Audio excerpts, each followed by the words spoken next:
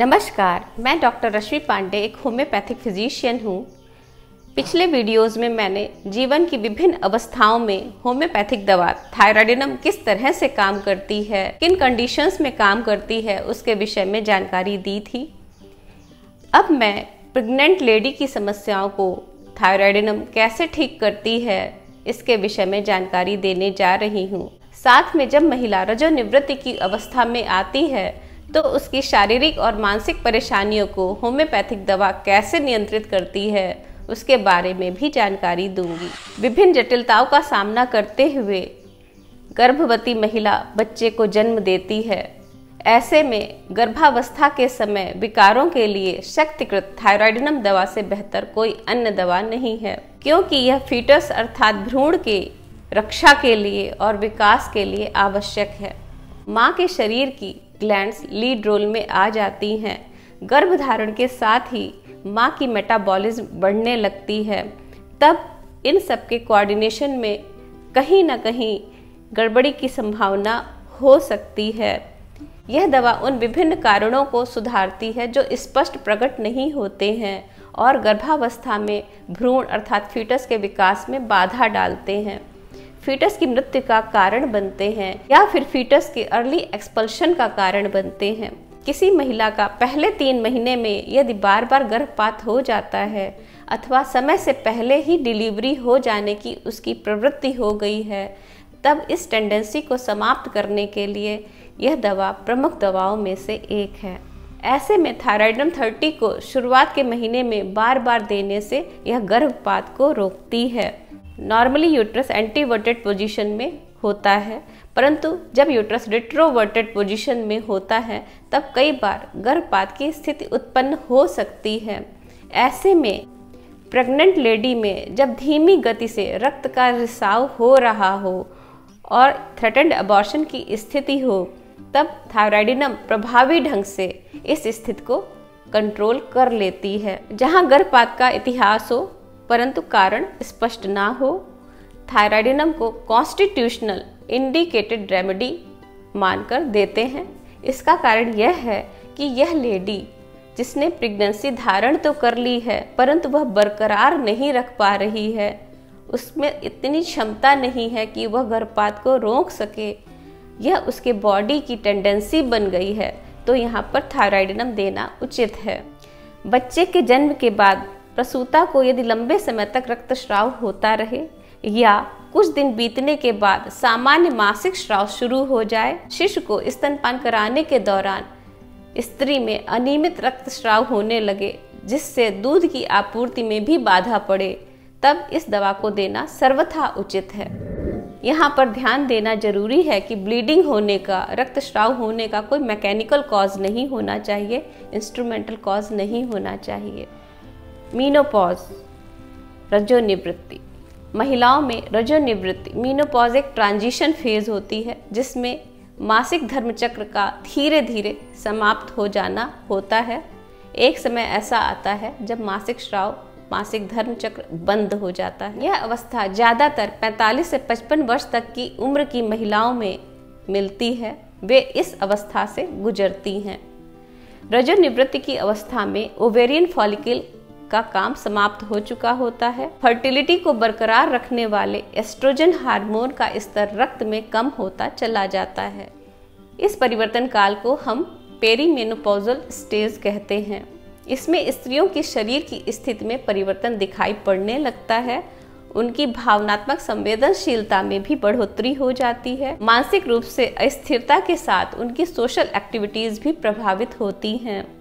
यह अवस्था कई वर्षों तक बनी रह सकती है। मीनोपॉजल स्टेज में क्या होता है, किस तरह के लक्षण आते हैं, उन्हें जान लेते हैं।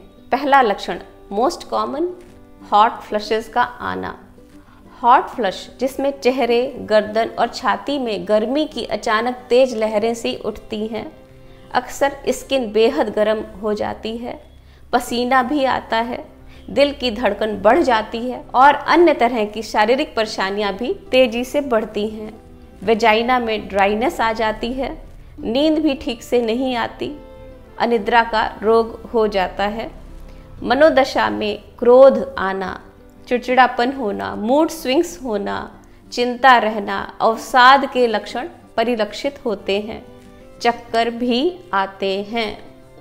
हार्ट अटैक का खतरा पहले से अधिक हो जाता है। पेल्विस की मसल्स में शक्ति कम हो जाती है।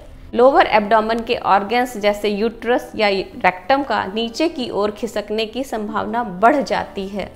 हड्डियों में बोन डेंसिटी कम होने से ऑस्टियोपोरोसिस और फ्रैक्चर होने की संभावनाएँ भी बढ़ जाती हैं। आर्थराइटिस के सिम्टम्स इस दौरान तेज़ी से बढ़ते हैं। मसल्स लैक्स हो जाती हैं। शरीर में फूलापन या मोटापा दिखाई पड़ता है। होम्योपैथी में थायराइडिनम लकेसिस की भांति मीनोपॉज की स्टेज में बड़ी लाभकारी है।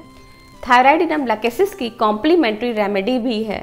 जब लकेसिस उतना अच्छा काम नहीं करती दिखाई दे रही हो या आंशिक आराम ही दिला रही हो, तब थायराइडिनम को फॉलो करें। यूट्राइन इनर्शिया प्रसव के दौरान सामान्य गर्भाशय में निश्चित अवधि और अंतराल में ड्यूरेशन और इंटरवल में कॉन्ट्रैक्शंस और रिलैक्सेशंस होते हैं। इसमें नर्व इम्पल्सेस का प्रभाव यूट्राइन मसल्स को भरपूर शक्ति के साथ सिकोड़ती और फैलाती है। किसी भी कारण से यदि इनमें सामंजस्य नहीं बैठ पाता, तब यूट्रस जड़वत हो जाता है, स्थिर हो जाता है, इसे यूट्राइन इनर्शिया कहते हैं। यह जड़ता प्राइमरी और सेकेंडरी दो तरह की होती है। प्राइमरी यूट्राइन इनर्शिया में शुरू से ही गर्भाशय कमज़ोर होता है, उसमें प्रॉपर संकुचन नहीं होता।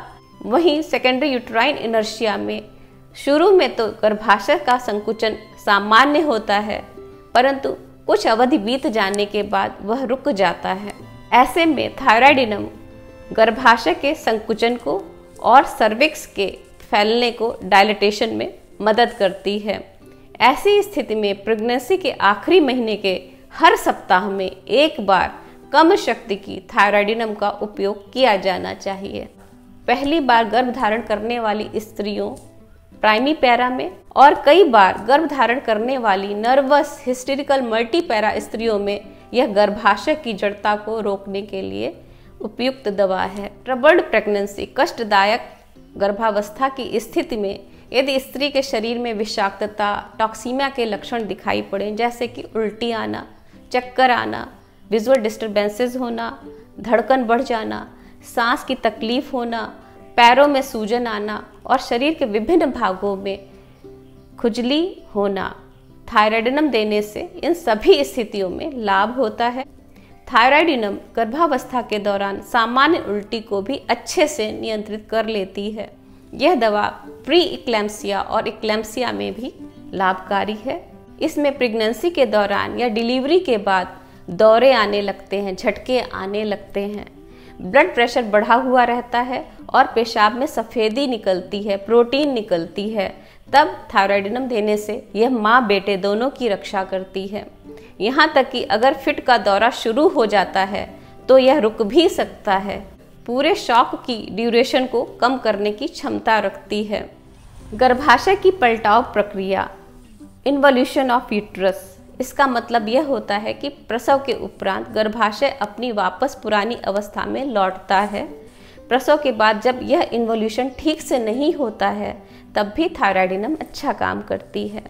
जिन माओं में स्तन में दूध उतना नहीं आता है कि उसके शिशु को पूरा पड़ जाए तो थायराइडिनम की कुछ खुराकें देने से यह दूध को उचित मात्रा में, पर्याप्त मात्रा में उपलब्ध कराती है। प्रसव के बाद सूतिका में रक्ताल्पता के लक्षण हो अनीमिया के लक्षण हो, पैरों में सूजन हो, या फिर पूरे शरीर में सूजन हो जनरलाइज्ड एनासार्का की स्टेज में, तथा महिलाओं में असाध्य दस्त डायरिया होने की कंडीशन में यह बड़ी उपकारी है।